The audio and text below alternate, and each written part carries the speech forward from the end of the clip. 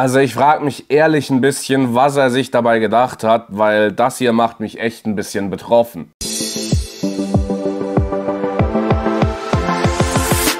Du kannst was nicht reparieren, dann hol doch den Reparierben. So oder ähnlich könnte das neue Jingle für mein neues Format der Reparierband klingen. Das war natürlich eine musikalische Meisterleistung, aber was ist der Reparierband denn eigentlich? Ja, der Reparierband tut genau das, was der Name sagt, er repariert Sachen. Und was repariere ich für Sachen? Eure Sachen natürlich. Ich werde in diesem Format versuchen, Zuschauer-PCs zu reparieren. Und bevor jetzt ganz viele Leute in die Kommentare schreiben, oh mein Gott, du hast doch dieses Format von Greg Salazar bzw. ehemals Science Studios geklaut. Nein, habe ich nicht. Es stimmt zwar, dass er dieses Format natürlich zuerst gemacht hat, aber ich bin einfach mal auf Twitter gegangen und habe ihn gefragt, hey, wie schaut's aus? Wäre es cool, wenn ich das Format in Deutsch mache? Und er so, ja, mach einfach. Nenn es einfach nicht gleich und deswegen ist der Reparierband entstanden. Der originale Creator dieses Formats hat also überhaupt gar kein Problem damit und im Grunde genommen ist es ja auch einfach nur gut, wenn immer mehr Leute so ein Format machen, weil dann werden mehr PCs repariert. Hoffentlich. Ob ich alles reparieren kann, weiß ich noch nicht. Äh, wir fangen heute auf jeden Fall mal an mit diesem Teil hier. Dieses wunderschöne Gerät wurde mir von einem Viewer zugeschickt und die Fehlerbeschreibung lautet, dass der PC kein Bild mehr ausgibt. Das Problem ist folgendermaßen entstanden. Also der PC hat ganz normal funktioniert und dann hat der gute Mann zu Hause eine M-SATA SSD, ich glaube mit 128 GB gefunden. Und er dachte sich, je mehr Speicherplatz schadet nicht und hat deswegen den ganzen PC auseinandergenommen, um diese M-SATA SSD auf dem Mainboard zu verbauen und natürlich hat dieses Mainboard kein M-SATA-Anschluss, was ihm dann auch aufgefallen ist. Also hat er gar nichts gemacht, er hat den PC wieder zusammengebaut und dann hat er nicht mehr gebootet, beziehungsweise kein Bild mehr ausgegeben. Das kann natürlich jetzt ein sehr, sehr leichter Fix sein, das kann was komplizierteres sein. Wir machen das Teil jetzt auf jeden Fall mal auf und schauen rein. So schaut das gute Stück dann von innen aus. Es ist ein bisschen sehr viel los, weil das Gehäuse ist wirklich sehr, sehr klein und es sind sehr große Komponenten hier drin verbaut. Vor allem die Grafikkarte ist natürlich ein Gigant für so ein kleines Gehäuse. Das ist, soweit ich weiß, eine 2070 Super, müssen wir aber noch genauer herausfinden. Wir haben hier einen 8700K drauf, wenn mich nicht alles täuscht. MATX Mainboard, irgendein Xylence Netzteil, wir haben eine Xylence AIO drauf und das war es dann eigentlich auch schon wieder. Das Kabelmanagement ist natürlich nicht so der Burner, aber er hat hier sein Bestes gegeben, das irgendwie schön hinzubekommen. Genau, wir haben noch 32 GB RAM, soweit ich weiß. Das ist Corsair LPX, so wie ich das sehen kann. Und ich habe keine Ahnung, was hier passiert ist. Das ist ja das Frontpanel, das normalerweise durch das Seitenteil durchschauen sollte. Das liegt hier einfach nur so rum. Ähm, okay, wurde vielleicht aus Platzgründen oder was auch immer entfernt. Aber ja, ich würde sagen, wir versuchen jetzt erstmal einen Boot durchzuführen und schauen, ob wir ein Bild bekommen. Was natürlich nicht der Fall sein sollte, wenn das Problem richtig beschrieben wurde, aber es schadet natürlich nicht, das Ganze jetzt einfach mal auszuprobieren, weil vielleicht hat sich das Problem schon von selbst gelöst. Das ist wirklich auch ein Highlight für mich. Ich muss zum Starten jetzt hier dieses Frontpanel rausziehen und ich glaube, das hier ist der Power-Button. Oder auch nicht. Dann ist das hier wahrscheinlich der Power-Button. Ja, sieht schon besser aus. Mal schauen, ob wir ein Bild bekommen, Freunde. Also ich habe jetzt ungefähr 30 Sekunden gewartet. Wir bekommen definitiv kein Bild. Dieses Mainboard hat auch keinerlei Debug-LEDs oder sonst irgendwas. Man könnte natürlich jetzt einen kleinen Speaker anschließen und schauen, ob das ja irgendeinen Fehlercode ausgibt. Meistens sind diese Fehlerpiepstöne aber nicht wirklich zu 100% richtig oder sonderlich hilfreich und deswegen lasse ich das hier jetzt einfach. Ich habe das Gerät jetzt erstmal wieder ausgemacht und wir schauen uns jetzt direkt ein paar Sachen an, die man als allererstes überprüfen sollte, wenn man kein Bild bekommt. Zuallererst sollte man natürlich die Kabelverbindung Verbindungen checken. Am besten die Hauptstromkabel zuerst, Grafikkarte natürlich, dann noch das 24-Pin-Kabel hier drüben an der Seite, das ist auch gut drin. 8-Pin EPS ist auch richtig drin. Also die Hauptstromkabel sitzen soweit schon mal richtig. Bei einem modularen Netzteil kann man auch am Netzteil direkt nochmal überall richtig draufdrücken. Das hier ist jetzt halbmodular, das heißt der 24-Pin und 8-Pin sind fest, die anderen Kabel sind modular.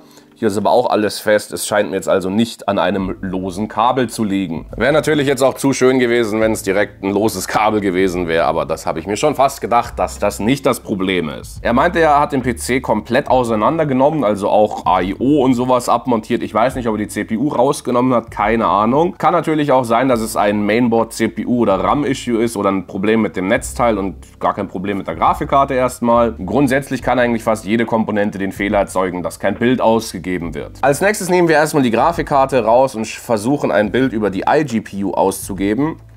Ich weiß aber wirklich nicht, wie er die hier reingebracht hat, weil ich weiß gar nicht, wie ich die hier rausbringen soll. Äh. Okay. Also es muss ja irgendwie eine Konfiguration geben. Vielleicht muss ich das Frontpanel ein bisschen wegziehen und dann nach oben kippen. Nope. Ich, ich weiß nicht, wie ich die Grafikkarte rausbekommen soll. Yay, ich habe sie rausbekommen. Das ist eine sehr schöne Karte. Das ist actually eine 3070 Gaming Z Trio. Wow. Es ist tatsächlich eine 30er Karte. Ich dachte, das wäre eine 20er Karte, aber das ist eine sehr, sehr schöne Gaming Z Trio von MSI. 3070, okay. Not bad. Ich muss jetzt ehrlich sein, mir tut ein bisschen weh, wie die in das Gehäuse hier reingezwängt wurde, weil meiner Meinung nach macht man sowas mit einer 3070 nicht. Aber naja, es gab wahrscheinlich keine andere Möglichkeit. Er hatte auch hier so einen wilden Grafikkartenhalter drin. Das ist eigentlich gar keine schlechte Idee. Und ja, der hält die Grafikkarte hoch, dass man nicht so einen starken GPU-Sag hat aber das hat hier natürlich auch extrem viel Platz weggenommen. Wir versuchen jetzt nochmal über die iGPU der CPU zu booten. Das sollte ein 8700K sein und keine F-CPU. Wenn es eine F-CPU ist, dann haben wir natürlich keine iGPU da drin, dann bringt uns das hier nichts. Aber soweit ich weiß, ist es ein 8700K, das heißt, man kann es auf jeden Fall mal versuchen. Ich habe davor auch kurz das BIOS resettet, indem ich die BIOS-Batterie kurz rausgenommen habe. Aber auch hier nach 30 Sekunden ungefähr wird immer noch kein Bild ausgegeben. Bevor wir mit der Hauptplattform weitermachen, würde ich gerne kurz die Grafikkarte unabhängig von von diesem System testen. Einfach auf meiner Testbench kurz anschließen und schauen, ob das Ding dort ein Bild ausgibt, weil dann können wir uns schon mal sicher sein, okay, es liegt nicht an der Grafikkarte. Also ich habe die Grafikkarte jetzt direkt mal angesteckt und wir bekommen sofort ein Bild. Das heißt, wir haben Glück, es liegt definitiv nicht an der Grafikkarte. Die 3070 funktioniert auf jeden Fall noch ganz normal. Was auch wirklich sehr, sehr gut ist, weil bei diesem System ist natürlich die Grafikkarte mit Abstand die teuerste Einzelkomponente. Und es ist halt wirklich einfach eine sehr, sehr schöne und sehr geile Karte und deswegen freut es mich, dass sie nicht kaputt ist. Bedeutet aber, dass irgendwas anderes mit diesem System nicht stimmt und weil es wirklich ein Pain ist, in diesem Gehäuse zu arbeiten, werde ich jetzt einfach erstmal alle Komponenten ausbauen und dann können wir uns die genauer anschauen. Also ich nehme gerade alles auseinander und ich habe tatsächlich noch nie so viele Kabelbinder in einem System gesehen. Deswegen kann sich das ein bisschen langwierig gestalten. Ich habe jetzt alles auseinandergebaut und jetzt sehen wir auch genauer, was wir hier verbaut haben. Wir haben hier ein ASRock Z370M Pro 4 Mainboard. Als SSD haben wir hier eine 500 GB 970 Evo Plus von Samsung drauf. Wir haben den 8700K, wie ich vorhin schon gesagt habe und wir haben ein 32 GB Kit Vengeance LPX von Corsair mit 2666 MTS. Ich würde immer noch gerne die CPU und das Mainboard als Fehlerquelle ausschließen. Deswegen testen wir jetzt zuerst den RAM, indem wir einfach jeden Stick abwechselnd auf meine Testbench draufpacken und schauen, ob es angeht. Regel Nummer 1 ist drin, wir schauen, ob der Gerät bootet. Ah ja, ich kann schlecht ein Bild bekommen, wenn ich kein Kabel angesteckt habe. Perfekt. Sehr schön, der erste Riegel läuft auf jeden Fall schon mal, wird ganz normal in Windows angezeigt und jetzt testen wir den nächsten. Und das machen wir jetzt einfach nacheinander durch, bis wir alle vier getestet haben. Ich habe jetzt alle Riegel durchgetestet, auch doppelt getestet und ja, ich denke, ich habe den Fehler gefunden. Mit diesen drei Regeln hier bootet meine Testbench ganz normal. Ich habe alle drei einzeln getestet, ich habe sie zusammen getestet. Ganz normaler Boot, werden ganz normal im BIOS erkannt, werden in Windows erkannt, funktioniert einwandfrei. Mit dem Riegel, der jetzt gerade drin ist, passiert gar nichts. Also wir haben genau den gleichen Fehler jetzt im Prinzip. Es scheint alles zu funktionieren, alles dreht sich schön, Lüfter sind an und so weiter. Aber wir kriegen kein Bild.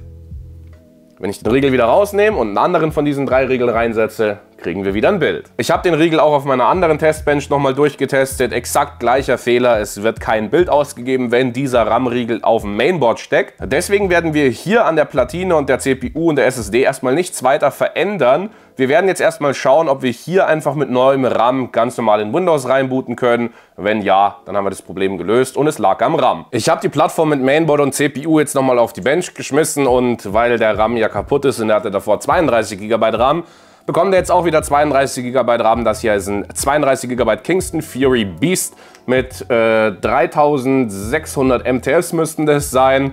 Ist natürlich deutlich schneller als das, was davor drin war, sollte aber eigentlich ohne Probleme laufen. Der neue RAM ist jetzt drin und das System bootet sofort. Wir bekommen sofort ein Bild wird alles erkannt, läuft also einwandfrei. Wir konnten den Fehler also identifizieren. Der defekte RAM-Riegel hat dafür gesorgt, dass das System kein Bild mehr ausgegeben hat. Wir haben dann alle Komponenten einzeln durchgetestet, wir haben die RAM-Riegel durchgetestet und jetzt läuft das System mit neuem RAM wieder einwandfrei. Jetzt fragt ihr euch natürlich sicherlich, ja Ben, warum hast du den RAM nicht als allererstes ausgetauscht? Hätte ich natürlich machen können, ist ja ein relativ häufiger Fehler, dass zum Beispiel ein RAM-Riegel kaputt geht. Gab zwei Gründe, warum ich das nicht gemacht habe. Erstens war die AIO so eingebaut, dass ich an den RAM gar nicht rangekommen wäre, ohne sowieso alles auseinanderzunehmen. Und zweitens war natürlich mein Plan, das ganze Teil sowieso auseinanderzunehmen, weil in das Gehäuse baue ich das System definitiv nicht wieder ein. Weil wir das System natürlich in ein ganz neues Gehäuse einbauen, das ist das Deepcool CK560, hat einen super Airflow, hat ein paar RGB-Lüfter drin verbaut und ja, ihr habt ja gesehen, wie sehr wenig Platz die 3070 in dem alten Gehäuse hatte.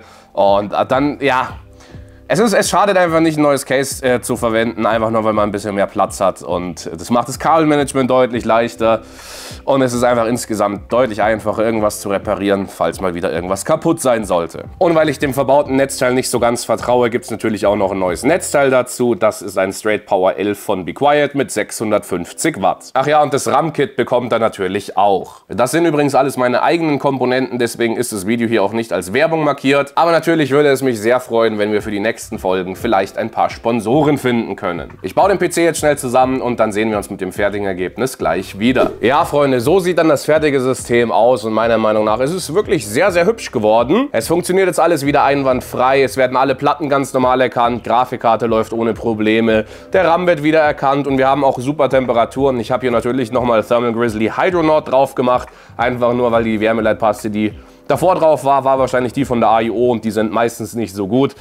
Also wird hier Hydronaut drauf gemacht, einfach nur weil es meiner Meinung nach, ja, für solche Fälle das Beste ist. Es ist natürlich ein bisschen suboptimal, dass wir hier mit einem MATX-Board arbeiten mussten. Das sieht jetzt nicht so wunderschön aus wie mit einem Full-Size ATX-Board, aber alleine durch das neue und deutlich geräumigere Gehäuse und natürlich das deutlich bessere Kabelmanagement macht die Kiste jetzt schon deutlich mehr her als davor. Zumindest meiner Meinung nach, vielleicht fandet ihr es ja auch davor schöner. Ich persönlich bin mit dem Bild aber jetzt sehr, sehr zufrieden. Wir haben den Fehler relativ zügig entdeckt, konnten ihn schnell beheben, indem wir einfach den RAM getauscht haben.